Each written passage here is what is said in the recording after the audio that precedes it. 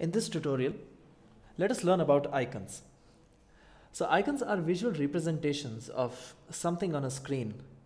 Now using icons is of utmost importance because it lets the user know what does what in an app. Also one of the most common uses of icons is as a button. So we will take a look at that as well. Now let us try to add an icon within this container. So how we add an icon to a container is by passing the icon as a child to this particular container. So we say child,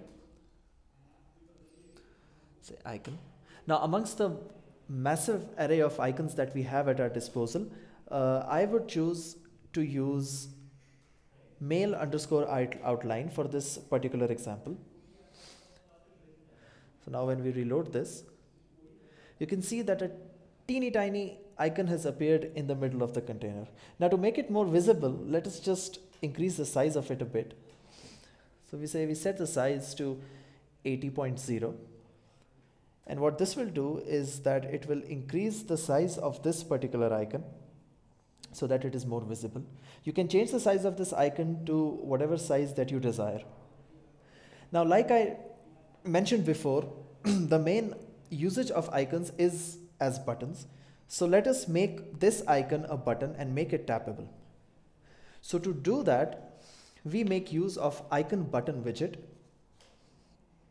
We pass that as a child to this container. And inside this widget, we pass, okay, uh, slight error here okay we are good to go.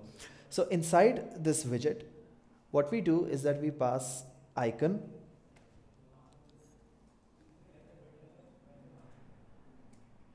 And we say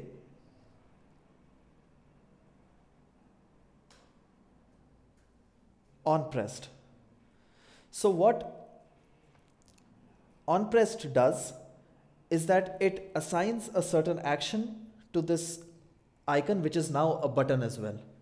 So for this example, let us make a print statement for the terminal and let's say print tabbed. Yeah, that pretty much makes sense. So now we reload this.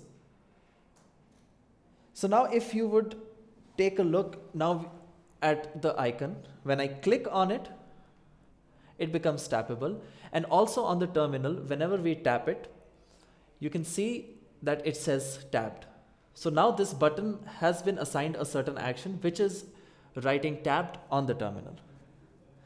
So this is how you can use icons and make it as a button as well. And we will learn more about this in the next video.